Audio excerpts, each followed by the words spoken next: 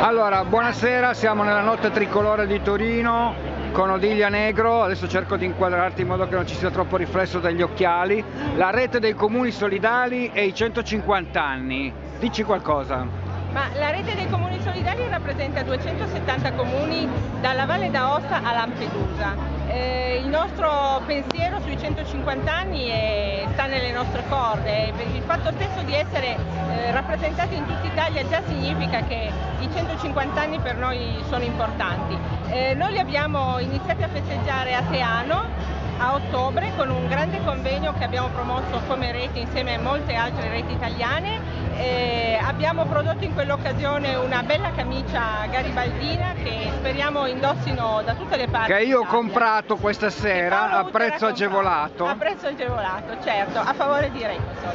Eh, che dire, eh, noi pensiamo che il, il filo che unisce tutti i, i, comuni che fanno cooperazione internazionale, che sono i comuni di Recosol, sia un filo che va ben oltre il confine della nostra amata Italia, eh, che è un'Italia in cui tutte le nostre comunità si festeggiano i 150 anni insieme alle altre comunità che sono arrivate nel nostro paese, che si sono integrate magari con un po' di fatica, ma che si sono comunque integrate bene e con le quali noi lavoriamo, collaboriamo costantemente. In questo momento il nostro pensiero è chiaramente per un comune recosolo che è Lampedusa, che è la, la, porta aperta verso il Mediterraneo. Che fa parte momento... della vostra rete proprio? Re... Sì, certo, Lampedusa è Recosol e siamo molto orgogliosi di questi, come molti altri comuni eh, del sud Italia, in Sicilia, in Calabria, pensiamo al comune di Riace, eh, comune virtuosissimo che ha fatto della bandiera dell'accoglienza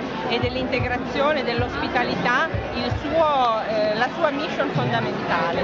Eh, noi pensiamo che essere Recosol, eh, essere Recosol per un comune piccolo o piccolissimo come molti dei nostri comuni eh, sia automaticamente eh, essere tutti insieme e pensare ad un'Italia che non può che essere unita.